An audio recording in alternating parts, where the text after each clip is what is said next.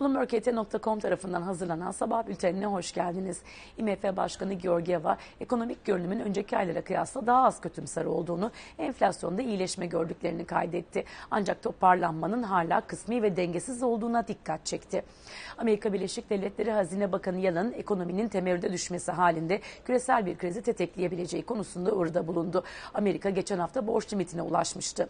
Fed yöneticilerinden Waller 1 Şubat'ta 25 bas puan faiz artırımını destekleyeceğini söyledi söyledi.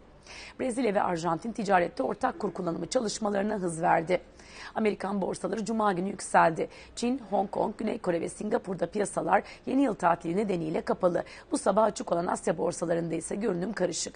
Amerikan vadeliler haftaya ekside başladı. Euro dolar 1.09 sınırında, dolar TL bu sabah 18.77, Euro TL ise 20.48'den alıcı buluyor. Spot altın 1929 dolar.